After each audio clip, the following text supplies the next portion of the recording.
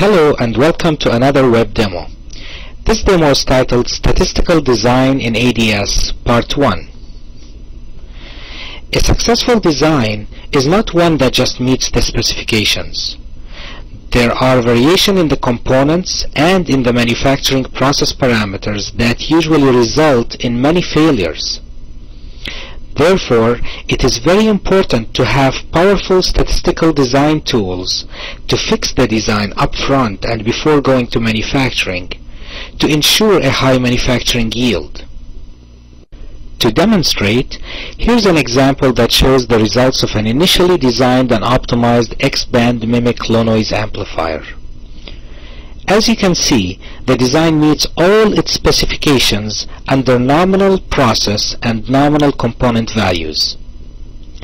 Let us now go to ADS and let us run a Monte Carlo yield analysis to see what kind of manufacturing yield we get from this design. This is the top level schematic of the LNA that shows the yield setup with the yield specs. During the 1000 iterations of Monte Carlo run, I will be varying the lumped elements, the microstrip line width, the substrate height, the substrate dielectric constant, and I also have 42 different FET samples to start my yield analysis, all I have to do now is push on this simulate icon. Notice in the simulation status window that it took 51 seconds to run those 1000 trials. Surprisingly here, we notice the yield is 8.3%. Our job now is to find out what is causing this low yield and fix it before going into manufacturing. In the data display, we have two types of plots. The bottom plots uh, display the actual response for noise figure gain S22 of all of the 1000 trials that we ran.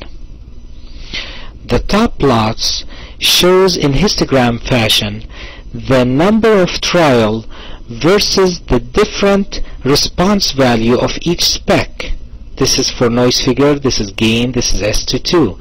And basically what this helps us with is to identify how many uh, have failed and how many have passed for each spec. This is another useful statistical data display plot that we call yield sensitivity histogram.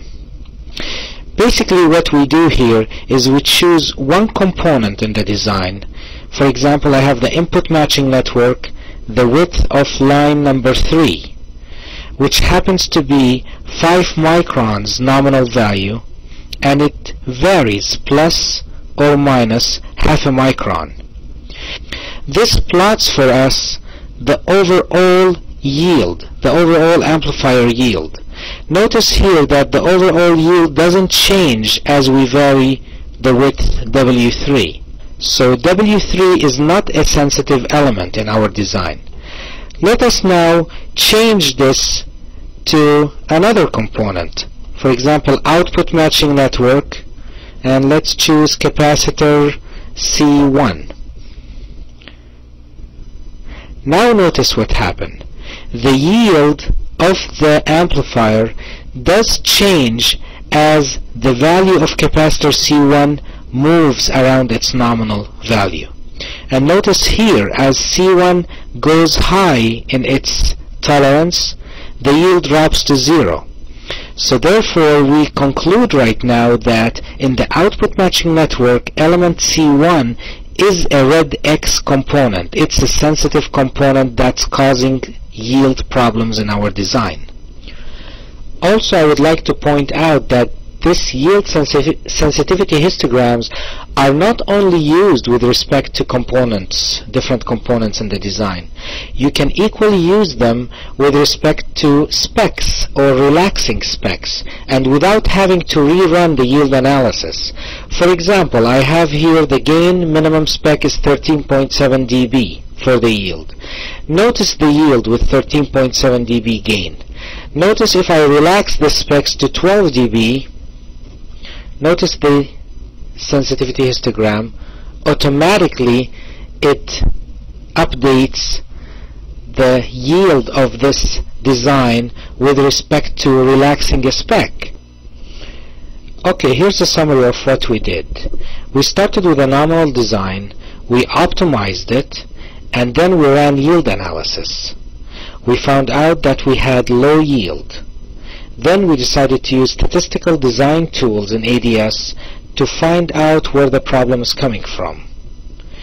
We ha I have shown you the use of the yield sensitivity histograms and in part 2 I would like to show you more more tools such as sensitivity analysis, design of experiments and design centering.